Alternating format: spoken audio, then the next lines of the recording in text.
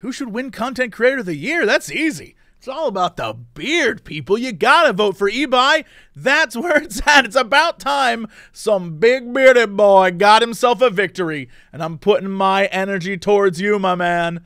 This is your year, I believe.